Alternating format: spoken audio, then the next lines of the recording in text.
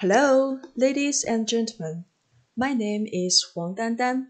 Today, the subject, the subject of my presentation is depression among college students in China. The first things I'd like to talk about what is the depression because sometimes it can be a lot of harder to understand. One major source of confusion is the difference between having depression and just feel, feeling depressed. Almost everyone feels down from time to time, getting a bad grade, losing a job, having an argument. Sometimes there's no trigger at all. Clinic depression is different. It won't go away just because you want it to. It lingered for at least two consecutive weeks and significantly interfere with one's ability to work, play, or love. Depression can have a lot of different symptoms. Uh, low mood, loss of interest in things you'd normally enjoy, changes in appetite, feeling worthless or executive guilt, sleeping either too much or too little, poor concentration, loss of energy, or recurrent thought of suicide. If you have at least five of those symptoms, according to psych psychiatric guidelines, you qualified for a diagnosis of depression. Depression is the leading cause of disabilities in the world. Now, I'd like to look the prevalence of depression. In China, almost 1 in 14 people struggle with depression. Relevant research indicated that approximately more than 20% of Chinese college students suffered from depression during the two years followed up period. And this ratio has kept going over the past 10 years, which is from 25.7 to 31.2 percent. In China, the mainstay of treatment for young people with depression is pharmacotherapy and psychotherapies. However, because of the side effect and resistance of these medicines, the intervention of antidepressant has very limited effects for most depressed college students.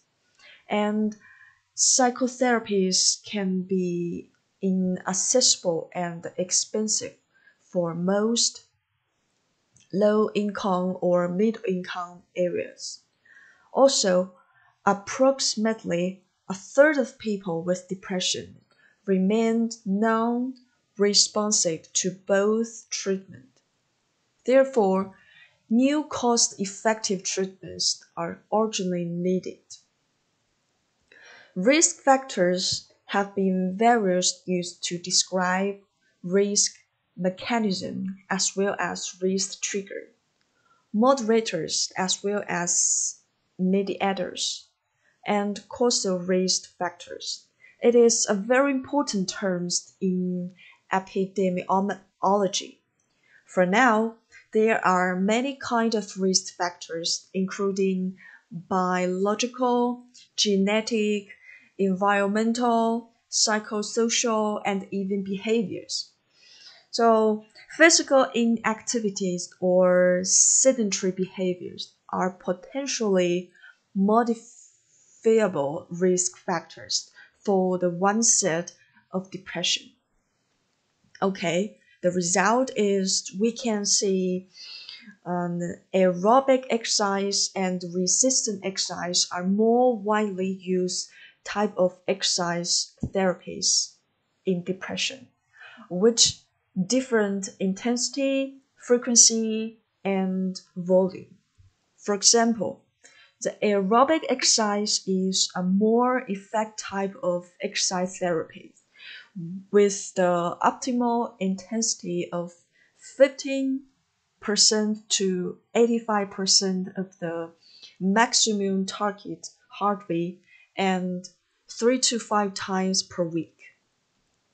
As you can see, the main mechanism of exercise include regulating cytokine production, increasing neurotransmitter released, and so on. There are a lot of things. So, inclusion, exercise therapies will be a very important and effective means for the treatment of depression in the future. But there is still a lot of work to be done to make exercise therapies widely recommended in clinic. For example, it deeply verifies the efficacy of resistant exercise or aerobic exercise and explores optimal protocols of individual or group exercise therapies in the college population. These presentations aims to explore the status of depression and efficacious exercise intervention options to increase physical activity level and decrease sedentary behaviors for Chinese college students. Suggestions for future research are also discussed. At the end, there are my reference available. That's all my part. Thanks for coming. If you have any questions or comments, please feel free to email me.